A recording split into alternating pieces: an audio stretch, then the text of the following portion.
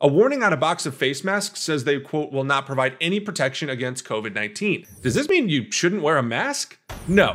The CDC says non medical masks won't prevent you from getting the virus, but they can protect others. The virus travels in respiratory drops, and masks can catch the ones you expel or spread. If everyone wears them, that lowers the number of infectious drops in public places.